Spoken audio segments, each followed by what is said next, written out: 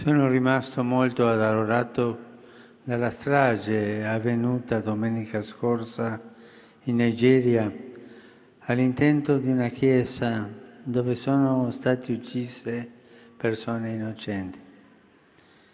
E purtroppo stamattina è giunta notizia di violenze omicide nella Repubblica Centrafricana contro le comunità cristiane.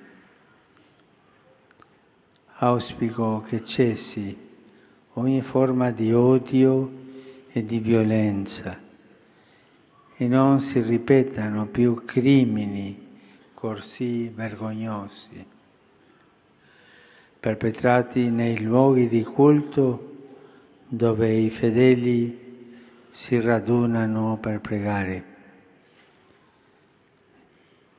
Pensiamo nostri fratelli e sorelle della Nigeria e della Repubblica Centrafricana. Preghiamo per loro tutti insieme.